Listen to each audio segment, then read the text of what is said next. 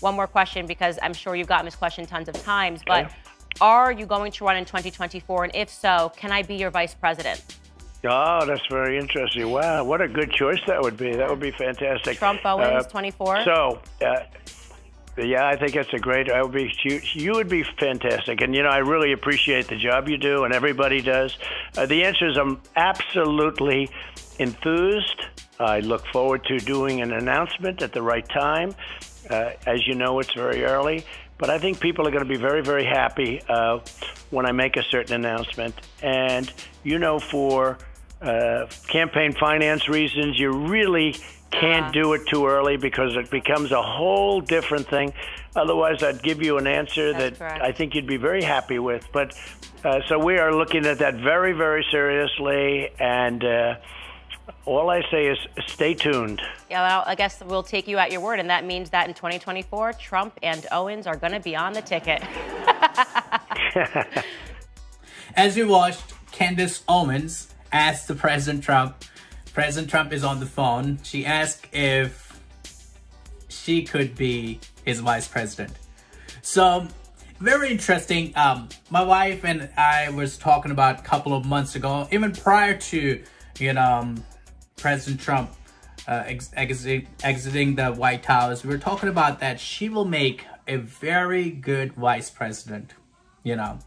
She's a very strong uh, conservative and uh, she is open-minded about you know the ideas of uh, you know bringing conservatism to the community she's um, very outspoken on the issues that our communities right now need and also she's very outspoken of the younger generations being attacked by socialism and also um, the younger generations being attacked from all over the place, you know, from left and right, from both sides, you know. And especially liberal media is attacking the younger generations, try to indoctrinate their thinking, their views, their worldviews, and then all about the free stuff, like everything free in the country. You know, Venezuela, many of you know Venezuela tried that and what happened to them. So America is not a socialist country. It's a very strong foundational country that helped so many other countries to um, to get out of, you know, or keep them out of communism or many things.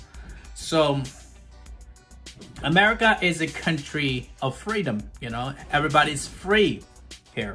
Nobody's slave, nobody is bounded, but everybody is free country. And I believe in the idea of freedom, land of the opportunity, and living together, finding a common ground, even if we have a different political views. Cancel culture absolutely is nonsense canceling people out and canceling a certain group of people, it's not a good either for business and for freedom and also for growth because the house divided in itself will never stand because it will be destroyed and the destruction will become the destiny of that house because if it's divided uh, this country even despite of having different political view, canceling is not good.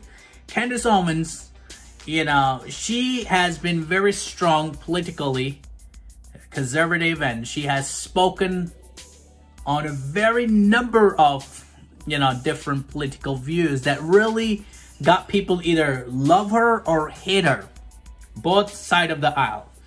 Because she speaking, she's spoken the truth, and uh, when you don't like it, you hate it.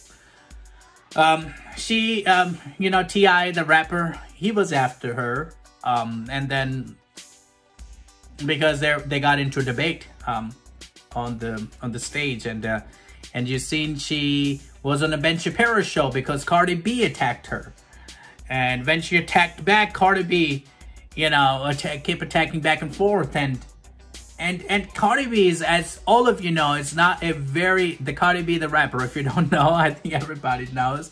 Not a very good example for young girls. I'll, I say that Candace Owens is a very good example for the younger girls and also especially for African Americans uh, to understand that they can be anything they want.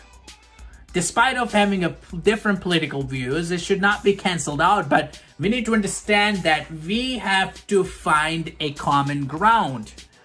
Despite of your political views, despite of your, because we cannot, or I cannot, you know, mix something in a drink and feed somebody something to change their political views over time, people political views changes and there is might be event that change their uh, political views. Especially happened with Candace Owens.